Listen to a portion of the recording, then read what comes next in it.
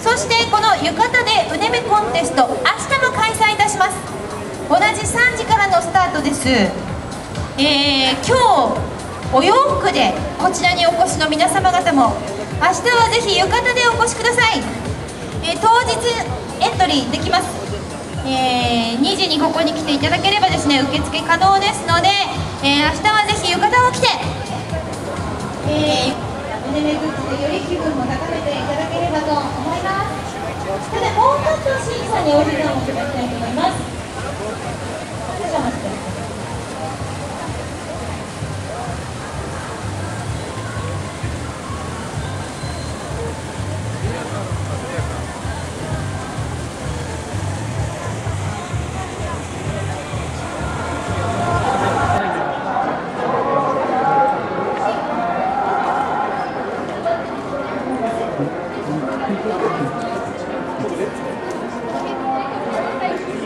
ど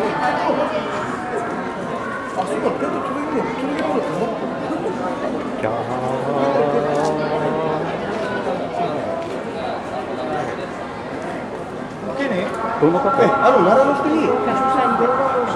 ああ今向こう向いてるね。いいよ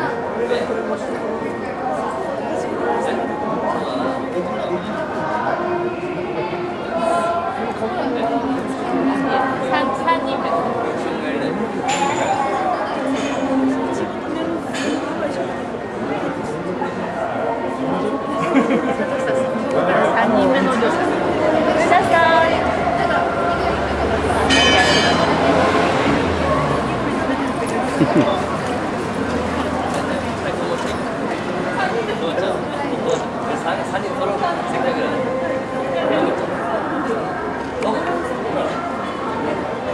けど皆さんどうした皆さんあ向こうの方が面白いですね。オッケーいや可愛いなやっぱ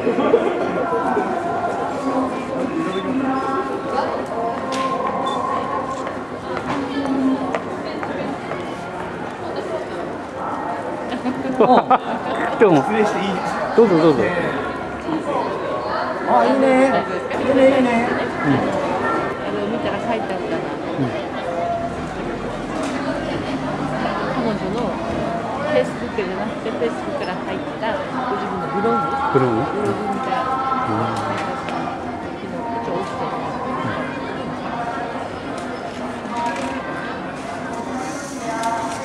じゃあ俺もお友達申請しよ うねとか、なんかね、あのいろんな仕事を進めたかったら、あのこないだ会ってくださいってやつがああったんですよ。いんろいろやっていろんな人と知り合いたいからって言ってるから、うんちょっと積極的になればいいと思うんですよ。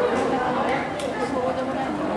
うんなんか他のことにもいろいろ気があるみたいで、そうかもねうんまだ若いから。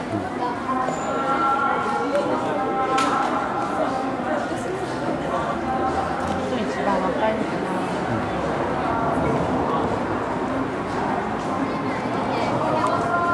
ルカリおお いい上の歯がいいね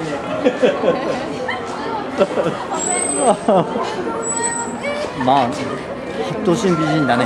発動するんだね。我々みたいに頭でっかいじゃないね。いいですね。